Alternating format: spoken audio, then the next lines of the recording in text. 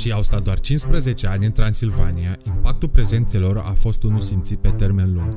Cum au ajuns de la o relație privilegiată cu regele Ungariei la un conflict? Hai să descoperim împreună în minutele următoare.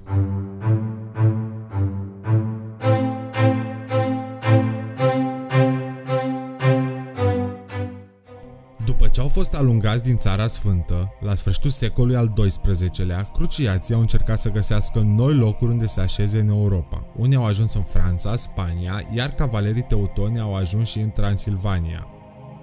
Hai să facem o mică incursiune în timpul primei cruciade pentru recucerirea Ierusalimului. Prima mențiune despre cavalerii teutoni apare în anul 1143 prin înființarea unui spital la Ierusalim destinat pelerinilor de origine germană care veneau în Țara Sfântă, dar, 44 de ani mai târziu, odată cu pierderea Ierusalimului, în 1187 acest spital dispare. Adevărata epopee a teutonilor, numele lor întreg fiind Ordinul Fraților Germani ai Spitalului Sfintei Fecioare Maria din Ierusalim, începe în timpul celei de-a treia cruciade, în anul 1190, în timpul asediului cetății Acra, unde câțiva cruciați din Bremen și Lübeck înființează un spital destinat germanilor. Un an mai târziu, Papa Clement al III-lea legalizează acest nou ordin oferindu-le regula Sfântului Augustin. Ce presupunea regula Sfântului Augustin? Permitea preoților dreptul de a trăi în lume, însă după obiceiuri monahale. Nu se puteau căsători, nu puteau avea copii, dar nici nu puteau strânge averi. Procesul de organizare și cristalizare continuă, iar în anul 1196, Papa Celestin al III-lea acordă cavalerul Teuton toate privilegiile comune ordinilor ospitaliere, statutul lor fiind redactat de primul mare maestru Henrik von Walpole. Trei ani mai târziu, în 1199, ei devin și un ordin militar. Adevărata dezvoltare a ordinului începe abia în anul 1210, odată cu alegerea lui Herman de Salsa ca mare maestru. El negociază cu regele Andrei al II-lea al Ungariei colonizarea unei părți a teutonilor în sudul Transilvaniei, în ceea ce va deveni cunoscută ca Țara Bârsei pentru a păzi granița voivodatului Transilvaniei de atacurile cumanilor de la est și sud. Dilul este concretizat în 1211 prin actul de donație al regelui. În acest moment, regatul Ungariei are deja experiență cu colonizarea altor popoare pentru paza granițelor, ei experimentând astfel de colonizări și cu pecenegii, dar și cu sași. Mai multe despre cum au cucerit și subordonat maghiarii Transilvania în episoadele următoare. Pentru a fi primii care aflați când urcăm un video nou, dați subscribe canalul nostru de YouTube. De asemenea, nu uitați să ne urmăriți și în social media, linkurile găsiți în descrierea videoului. Fiecare like sau share ne încurajează să producem mai mult content despre istoria românilor. Această colonizare vine și cu câteva privilegii pentru teutoni. Aveau exclusivitate în taxarea târgurilor și activităților economice din teritoriul lor, dar aveau dreptul să ridice cetăți și fortificații din lemn pentru a asigura paza frontierei. Dacă se descoperea aur sau argint în acel teritoriu, veniturile erau făcute 50-50 cu regele. Pe lângă privilegiile economice, teutonii au fost scoși de sub autoritatea voivodului Transilvaniei. Pe plan judiciar, aveau dreptul să fie judecați de către un judecător ales de ei. Imediat după colonizare, teutonii încep să-și facă simțită autoritatea în zonă și trec la cucerirea de noi teritorii. Deja, în 1215, cuceresc cetatea Kreuzburg în afara țării Bârsei. În câțiva ani cuceresc un teritoriu impresionant. Cuceresc partea de est a viitoarei țări românești care încă nu se formase, până la râul Argeș și Dunăre, dar și sudul Moldovei.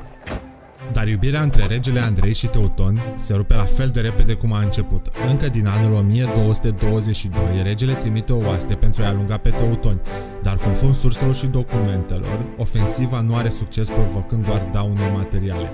Care este originea acestor divergențe între rege și teutoni? În toamna anului 1217, regele maghiar pleacă în Cruciat, în Țara Sfântă, alături de cavalerii teutoni. În urma insucceselor militare ale regelui, corela cu noua politică teutonă de emancipare și independență, susținută de Sfântul Scaun, relația între cele două părți degenerează irreversibil. Bine, există mai multe motive ale evenimentelor ce vor urma între regele ungar și cavalerii teutoni. Pe de o parte, sunt probleme interne ale regatului maghiar, unde viitorul reg Bela al IV-lea, încurajat de nobilii maghiari care nu erau tocmai fericiți uh, cu privilegiile primite de popoarele străine, îl incită pe acesta spre un război civil împotriva tatălui său. Apare însă în peisaj și noul episcop de la Alba Iulia, Reynold de Belleville, care nu mai ține cont de concesiile făcute de predecesorul său. Plecând de la noua politică a teutonilor de emancipare, aceștia doreau transformarea țării Bârsei într-un stat independent supus direct autorității papale. Iar în 1224, teutonii chiar și obțin de la Papa Honoriu această recunoaștere. Ori, pentru a ține în frâu aceste mișcări tectonice din regat, regele Andrei al II-lea intră cu astea în țara Bursei, le provoacă teutonii pierde de 1000 de mărci, iar disputa evoluează spre un conflict militar generalizat. Asediază castelul Kreuzburg, revocă toate privilegiile teudone, dar nu reușește să înfrângă.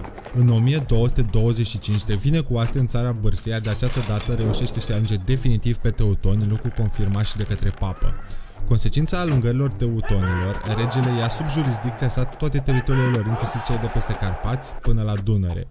Presimțind deznodământul confruntărilor cu maghiarii, încă din 1226, teutonii obțin o invitație din partea ducelui Conrad de Mazovia pentru a-l sprijini pe acesta în lupta contra păgânilor de pe Vistula și de la Marea Baltică.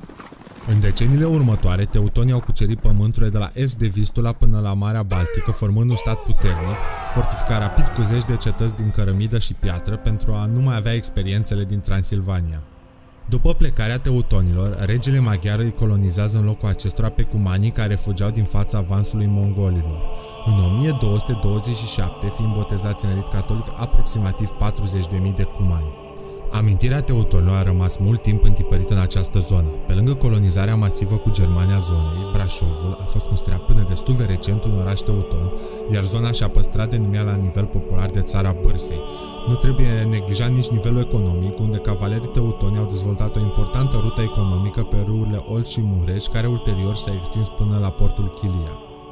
Dacă vă plac videourile pe care le facem, nu uitați să ne susțineți prin abonarea la canalul nostru sau cu un like și un share în social media.